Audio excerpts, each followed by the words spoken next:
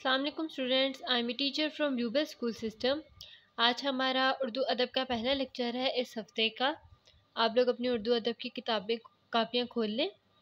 आज जो तारीख है वो है 26 अप्रैल 21 आज का दिन है पीर का, जमात का काम, उनवान, नज़म, हमद। आज हम लोग सवालात के जवाब करेंगे। पहला सवाल है, सब कुछ किसका बनाया हुआ है? जवाब, सब कुछ अल्लाह ताला का बनाया हुआ है।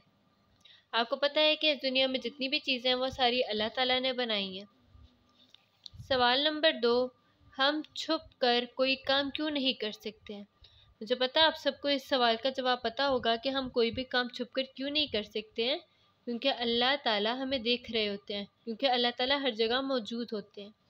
तो इसका जवाब है, हम कोई भी काम छुप कर इसलिए नहीं कर सकते हैं, क्योंकि अल्लाह ताला हमें देख रहे हैं।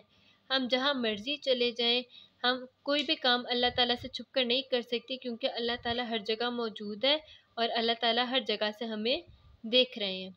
ओके, स्टूडेंट्स, इसके अकॉर्डिंग जो है, मैं आपसे जूम सेशन में क्वेश्चनिंग करूँगी। टिल देन, अल्लाह हाफिज़।